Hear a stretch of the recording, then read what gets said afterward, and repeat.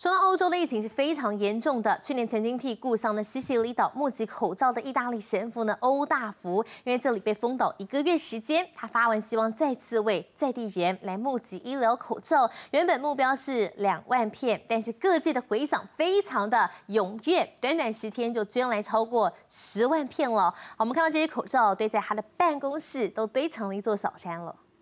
我们就是尽量塞，你看旁边有有一些空隙，我们就是尽量塞。教堂志工把口罩整理好，封箱，贴上托运单，准备寄到意大利西西里岛。纸箱上的纸条别有用心。台湾 aiuta Italia，aiuta 就是 help，aiuta help，对，donazione 是礼物。原来这些口罩全是台湾人的爱心。已经在台湾服务二十一年的意大利籍神父欧大福，日前在脸书发文说，希望能为故乡西西里岛募集医疗口罩。原本目标两万片，但各界回响热烈。短短十天就飞来了超过十万片口罩，摆在办公室里，宛如一座小山。一次进那么多神父，自己也没办法负荷那么多，所以我们想说就有空，然后来帮神父做一些这个。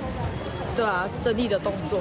国外疫情升温，意大利已经有将近九万名确诊患者死亡，在欧洲仅次于英国。为了防疫，西西里岛十七号宣布封岛一个月，也让原本已经取得不易的口罩变得更加匮乏，一片涨到二十块钱。有一些地方完全封封封封城，所以也是很多人没有工作啊，没有工作就没有呃收入啊，所以也有一些人有真的。